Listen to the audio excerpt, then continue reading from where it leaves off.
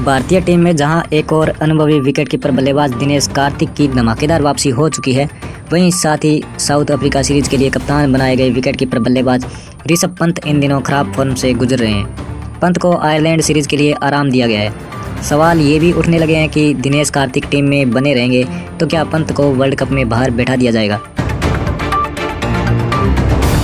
Team के पास अब मध्यम क्रम और विकेट कीपिंग के बाकी विकल्प हैं।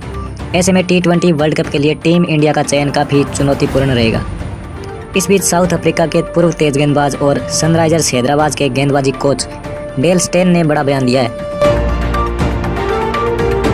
डेल स्टेन ने कहा, निश्चित रूप से कार्तिक ने अपनी जगह बना ली है।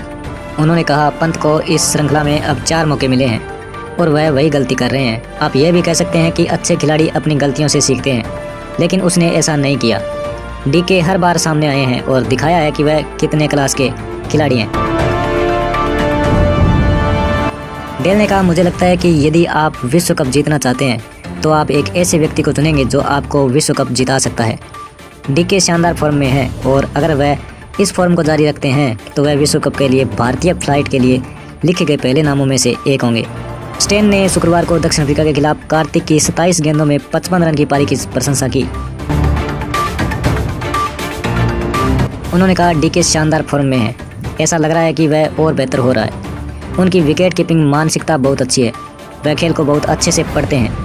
वह जानते और समझते हैं कि गेंदबाज क्या करने जा रहे हैं। सीरीज़ में अब तक की चार पारियों में कार्तिक ने एक के स्ट्राइक रेट से बानवे रन बनाए हैं। उन्होंने डेथ ओवरों में एक के स्ट्राइक रेट से हर तीन दशमलव दो गेंद पर चौका लगाकर चौरासी रन बनाए हैं। वहीं पंत ने चार पारियों में सिर्फ़ एक के स्ट्राइक रेट से सत्तावन रन बनाए।